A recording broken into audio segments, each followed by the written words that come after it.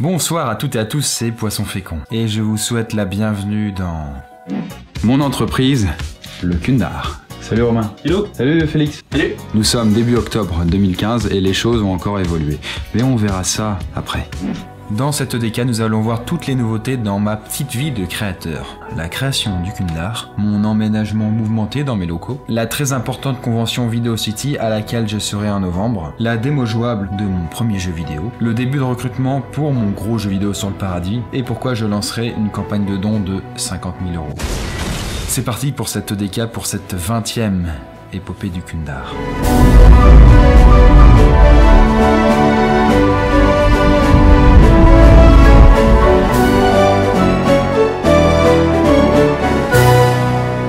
Son entreprise, c'est quelque chose de génial. C'est un parcours difficile et risqué, mais toujours formateur et qui en vaut la chandelle. La France fait partie des pays qui dépensent le plus dans l'éducation nationale et hum, c'est une bonne chose. Même si j'ai ce petit sentiment que le budget n'est pas hyper bien exploité. Et puis je regrette l'école qu'elle ne pousse pas assez les jeunes et ceux qui ont des idées dans l'aventure de la création d'entreprise. Est-ce qu'une seule fois à l'école, un prof vous a déjà parlé du fait de devenir entrepreneur, d'être son propre patron, de se lancer à la conquête du monde?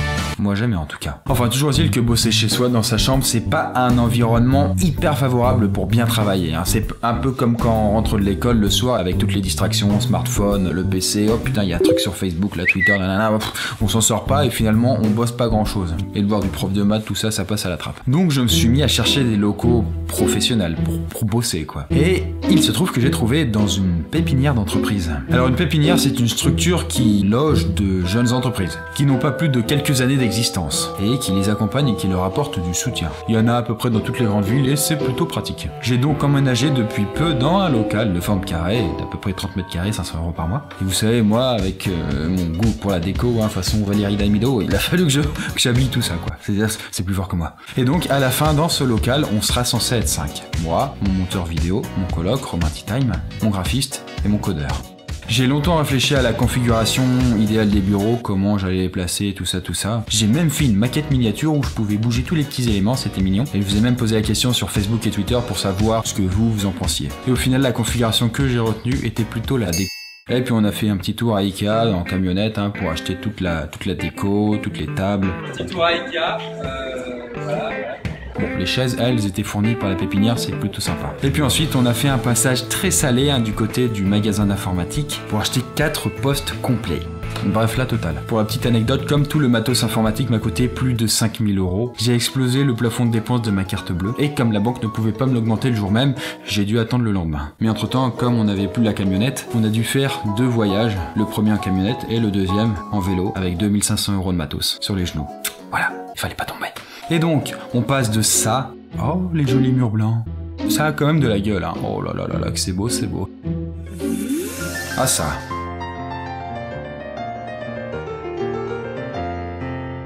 Alors voilà le poste de Romantic Time, là celui de mon monteur vidéo Félix, et là c'est ici que je bosse. Oui, j'ai pas choisi le coin le plus dégueulasse, hein, c'est sûr. Et les deux postes restants, bah, c'est pour hein, mon futur graphiste et codeur. Mais on va y revenir, patience.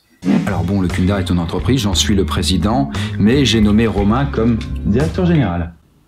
Je le suis. Alors en tant que DG, à Romain, je lui ai assigné quelques pouvoirs, hein, comme le fait de pouvoir régler les tâches courantes. Hein, et- Félix, souhaites-tu une voiture? Absolument En plus de ça, il pourrait aussi avoir par exemple la capacité de faire passer des entretiens, d'embaucher, de licencier, comme je pourrais avoir moi-même cette capacité, quoi. Licencié, Félix. Licencié. Et ce grand poster noir avec cet étrange symbole dessus, c'est le logo du Kundar. Est-ce que vous êtes déjà demandé pourquoi des entreprises comme Nike, Peugeot ou Apple avaient choisi ces logos-là?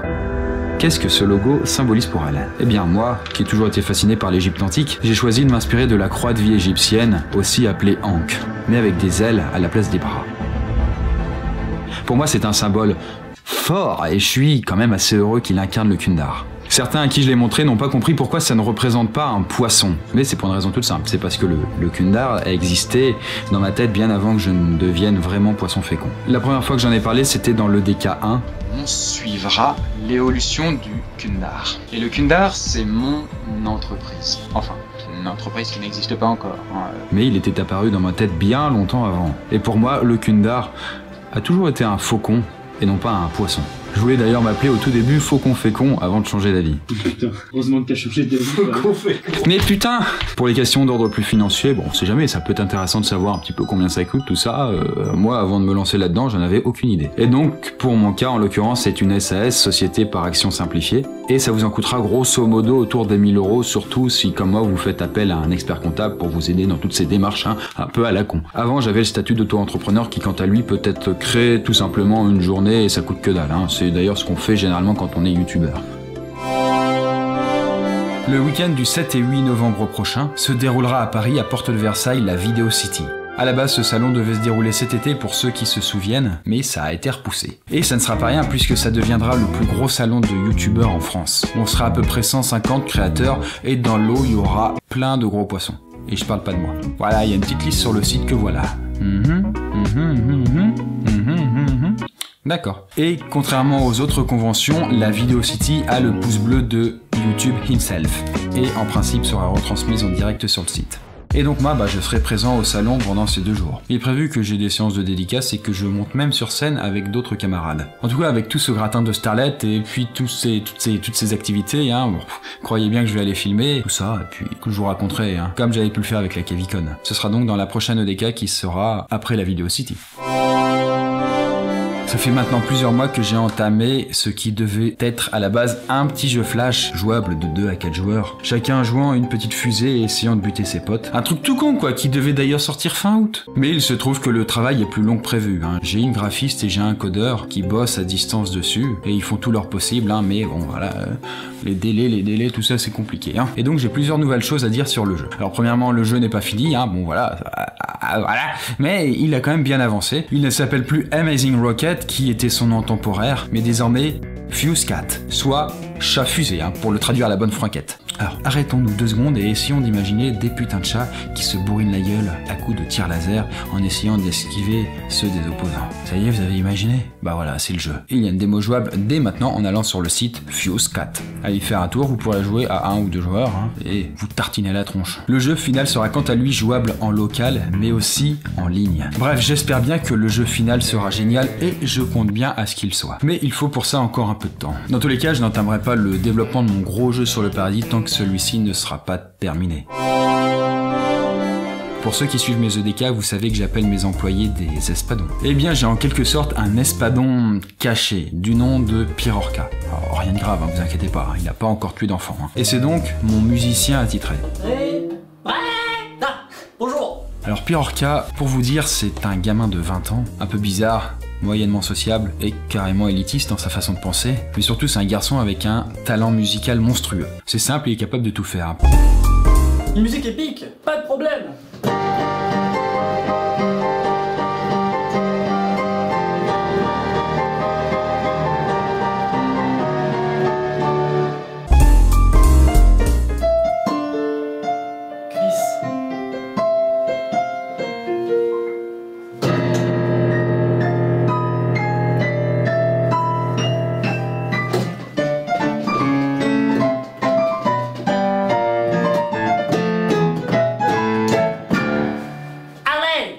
qui a créé le générique des trucs à la Chris, de la bulle, de cette EDK, et c'est lui qui créera toute la bande musicale de mon gros jeu sur le paradis. Il a d'ailleurs une chaîne YouTube que je vous invite à aller voir si vous aimez les mecs un peu bizarres mais talentueux.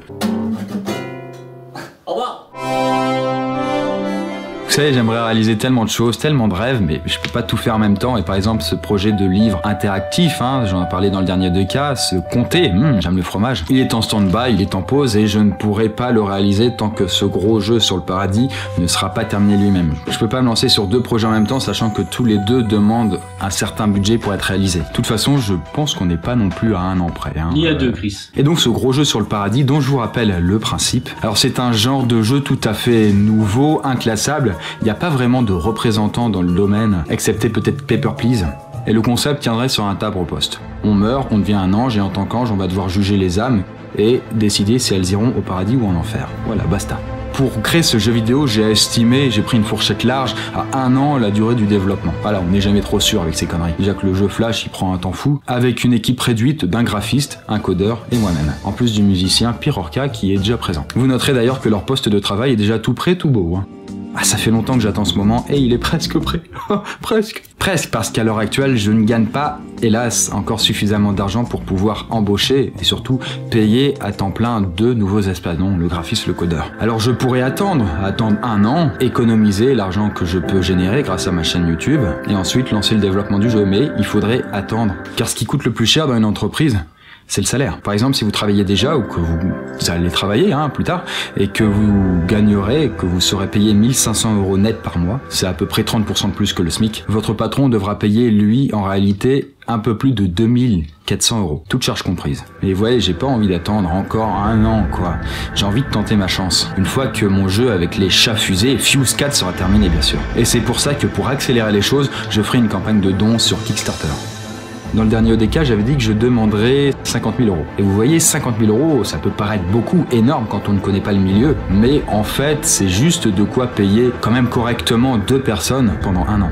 Alors dans la précédente ODK, j'avais lu quelques commentaires du style. Non mais n'importe quoi, hein, Starnak, moi ton jeu je te fais pour moins de 100 balles. Hein. Ou encore... Si c'est pour te barrer avec l'argent, c'est pas la peine. Hein. Oh là, c'est quand même pas de bol, parce que si je me barrais avec l'argent, ma réputation serait comme qui dirait niquer quoi. Et puis un jeu, hein, bah, ça coûte de l'argent hein, dans notre monde, les gens il faut les payer. Après bien sûr il y a eu plein de créateurs de jeux qui ont fait leur jeu dans leur chambre, en étant graphistes, avec leurs potes codeurs, tout ça ils ont fait, ça leur a pas coûté un sou, mais c'est vraiment une autre façon de travailler et c'est pas possible dans une entreprise quoi. Donc là c'est officiel, je lance le recrutement pour deux nouveaux postes dans le Kundar. Je parle au masculin, mais bien sûr, ça peut être autant un homme qu'une femme, il hein, n'y a pas de souci là-dessus. Hein. Et même si je ne recrute pas tout de suite, tout de suite, hein, je prends quand même le temps de faire passer les entretiens, faire une liste de profils, pour que tout soit prêt le moment venu, quand on pourra démarrer la création du jeu. Alors si vous êtes intéressé, ce qu'il faut savoir, je ne prendrai que des personnes majeures, ça me semble évident, qui ont un talent indéniable quand même dans leur spécialité. Pour les détails plus techniques, ce sera sur une page à part. Vous travaillerez à Grenoble. Cela dit,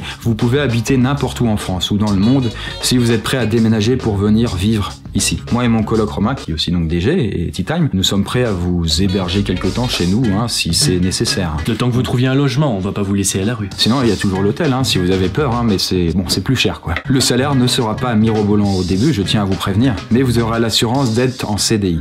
Et puis vous serez assuré de réaliser non seulement un jeu qui touchera le monde entier, mais en plus vous aurez une place permanente dans le Kundar et réaliserez bien d'autres jeux avec moi ensuite. Et puis bon bah vous travaillerez dans un cadre au quotidien pas trop vilain quand même. Pour moi c'est très important qu'on se sente quand même bien à l'aise euh, comme à la maison quoi. En compagnie de moi-même, de Félix, blagueur et rocker à ses heures perdues, et Romain. Alors il y a le petit déj à 10h au Kunder avec baguette de pain frais, confiture, lait, euh, café, chocolat, tout ce que tu veux. On boit sans chausson, voilà, c'est convivial. Pour les précisions plus techniques pour chaque offre, rendez-vous sur kundar.com slash espadon. Le lien est dans la description. Donc voilà, pensez à aller jouer à la démo de mon petit jeu Fuse 4 si le cœur vous en dit. Et il aura fallu 20 épisodes de cette épopée du Kundar avant que le Kundar naisse enfin. C'est le début d'une grande aventure qui nous attend, ensemble.